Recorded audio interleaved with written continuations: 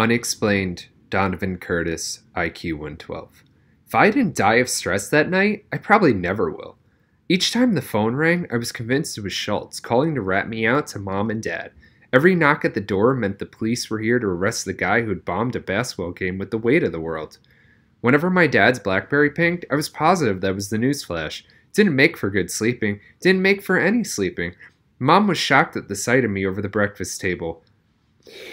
Was studying, I told her with a yawn wide enough to drive a truck through. You look like a wily coyote after the roadrunner dropped him off a cliff, said my sister Katie. She was 26 and had moved back in with us while her husband was deployed to Afghanistan with the Marines. Thanks, Miss Goodyear, I retorted absently. Katie was seven months pregnant, possibly with a baby hippo. One more wisecrack about my sumo stomach and I'll sit on you, she threatened. You think this is a vacation for me? Not for you, for Brad, I returned. He's got an 11,000 mile buffer zone from all the sweetness of light. I regretted it the instant the words passed my lips. Normally, the two of us could go back and forth insulting each other for hours, but Katie lapsed into a melancholy silence, a far off expression in her eyes.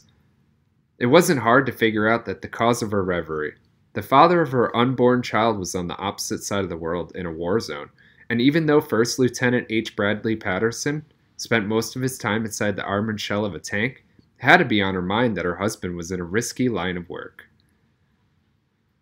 Mom came over and placed her hands reassuringly on Katie's shoulders. Brad's surrounded by the best trained people with the best equipment money can buy. But her daughter's mind turned out to be elsewhere. Beatrice is coming.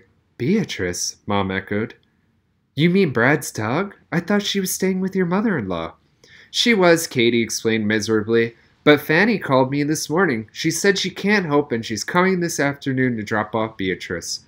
We're getting a dog? I asked, mildly interested. That mutt hates me, Katie moaned. That's the reason she was supposed to go to Fanny in the first place. Beatrice will never forgive me for taking her place in Brad's life. For all I know, she blames me for getting him shipped out, like I make deployment decisions for the Marine Corps. She's your dog too, Katie, Mom lectured and we'd be delighted to take care of her while Brad's serving his country. Right, Donnie? I'm not touching the poop scoop, I said firmly. My mind was on Schultz, not dogs, that morning. At school, I waited to be called to the office. Between classes, I searched for the summons tape to my locker. Nothing. The anxiety was eating me up from the inside. When the PA announcement finally came, it was almost a relief. Would Donovan Curtis please come to the ma- to the office? Donovan Curtis to the office? It was the longest walk I'd ever taken.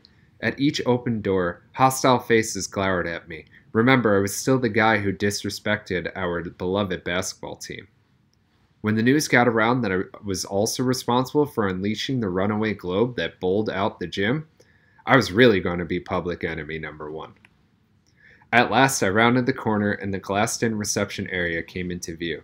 To my surprise, the avenging angel waiting for me was not Dr. Schultz, but Mr. Fender, when you serve detention with me, Mr. Curtis, you serve it to the end, and you don't leave until I tell you it's time. He went on for a while, trying to scare me, I guess. The poor guy had no way of knowing that, considering the payback I was expecting for Schultz, a rampaging grizzly couldn't scare me. He cut me loose, though explaining that, thanks to the damage to the gym, we students had suffered enough. I had a sneaking suspicion Schultz wasn't going to see it that way. I couldn't say how much anybody had actually suffered, but the disaster at the basketball game was definitely the hot topic at school. When the glass blew out, I thought it was an explosion, like a terrorist attack. Did you see the statue with the top part missing? looks like my grandfather when his back goes out. I heard the gym floor is permanently messed up. When they catch the guy who did it, they're gonna hang him on a meat hook. Yeah, Nussbaum chimed in. I pity that poor loser. His life isn't worth a used Kleenex. He turned to me.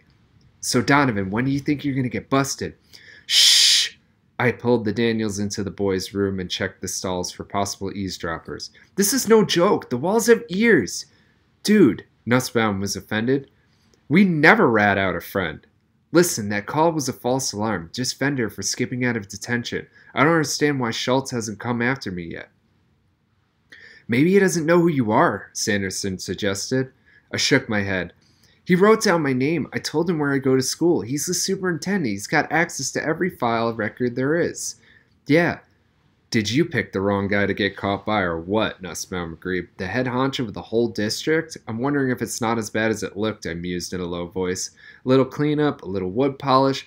I heard they're going to have to redo the whole gym floor, Sanderson put in. It costs like zillions of dollars, and don't forget the glass doors, Nussbaum added. You're a dead man walking.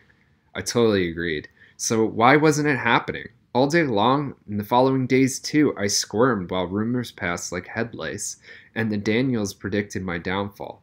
There was no escape from the tension at home, where reports of firefights in Afghanistan dominated CNN.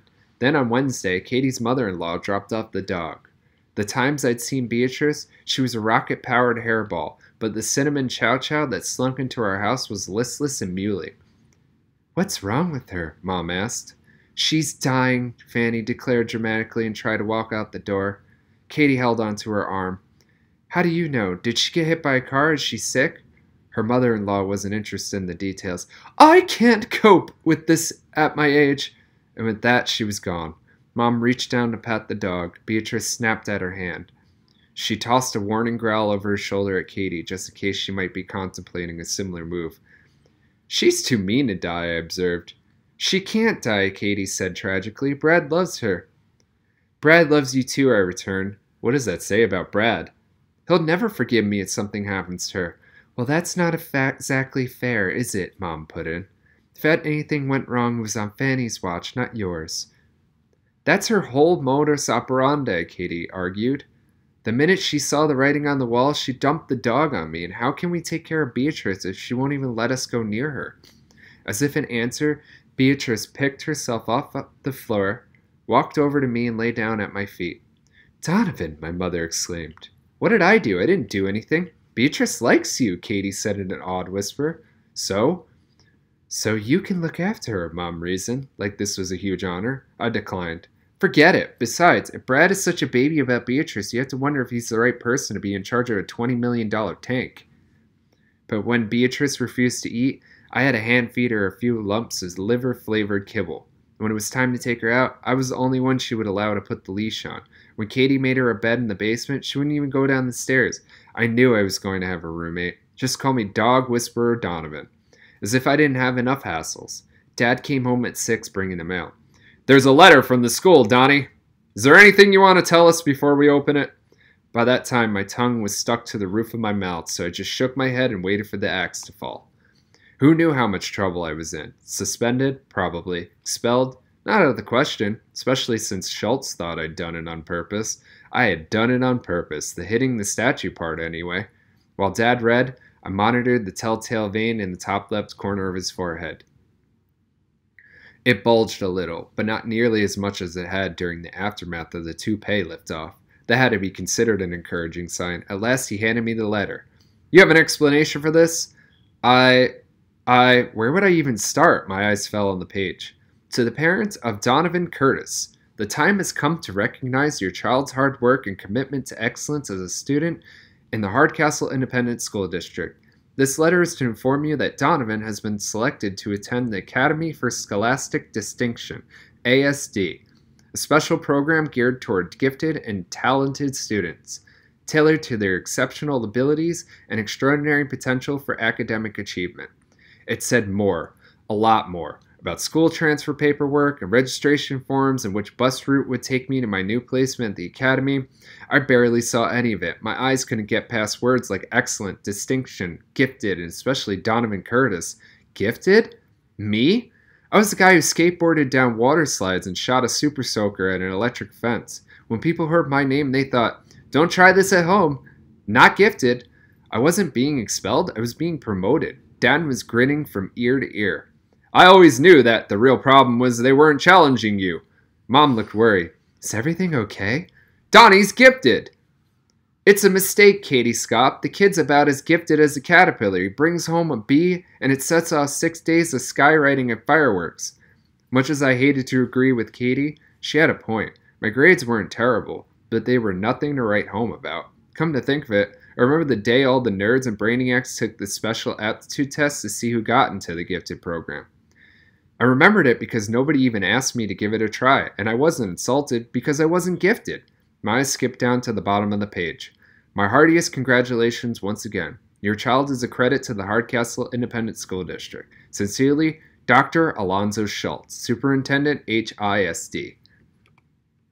Schultz? The only program Schultz would recommend me for, Alcatraz. Didn't he realize who I was? I mean, the guy made a point of getting my name so he'd know exactly who to burn at the stake. It came to me in a giddy flashback to the day of the incident. Right after Schultz let me go, his secretary asked for the roster of new kids for the academy. The superintendent's response was the last thing I remembered before bouncing out of there. His exact words It's on my desk, Cynthia. You can't miss it. He had that big doofus scribbled my name on the gifted list by accident, and everybody else thought it was there because it was supposed to be. It seemed crazy, but it did explain the two inexplicable things going on in my life right now. One, why Schultz hadn't come to kill me yet, and two, why I'd just been invited to go to genius school. I laughed out loud. People thought I acted without thinking. This was a thousand times worse than hitting its statue with a twig. It was a shoe in for the Bonehead Moves Hall of Fame. What's so funny? Dad asked. I almost spilled the beans. How many chances do you get to show the guy who runs the entire city school system is an even bigger dipstick than you are? Besides, it's not like my parents were going to find out eventually. Sooner or later, Schultz would realize his mistake and. Or would he? The only district officials who saw me that day were Schultz and his secretary, and neither of them had ever met me before. They worked in the administration building, not Hardcastle Middle School. Paper my name was written on was surely gone now, crumpled up in a wastebasket or fed through a paper shredder. The one thing the superintendent knew about me was the school I went to. This was the only way he could get to me. The gifted letter tingled in my hands. If I was at the academy, he wouldn't be able to find me. It was the realm of brainiacs and goody goodies. The last place you'd look for a kid who put a blonde, bronze globe through a glass door. A tiny voice spoke up from the depths of my spleen. Forget it. Not in a million years. You won't last 10 minutes in the gifted program. There's never been anybody more ungifted than you. Mom was flushed with happiness. I always knew this day would come. It was only a matter of time before people realized how special you are. She sniffed back a tear of emotion. Beatrice was our good luck charm. Things are finally starting to turn around for this family. I could feel it. I could feel it too, added Dad, putting his arms around her. Wait a minute, Beatrice! His eyes strayed to the hall, where the languid Chow Chow was chewing on his newspaper, reducing it to an inky pulp. Up until that instant, I honestly don't think I was going to go through with it, but since Brad had shipped out and Katie had moved back in, the tension in our house had been simmering, just below the boiling point. And now this extra stress with the stupid dog? How could I pile my own problems on top of that? Especially when mom and dad looked so proud, something that didn't happen every day where I was concerned. I thought of my namesake, James Donovan on the foundering Titanic. What would he do, sink or swim?